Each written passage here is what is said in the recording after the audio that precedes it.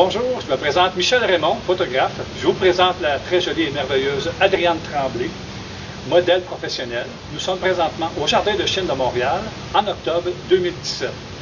Bon visionnement.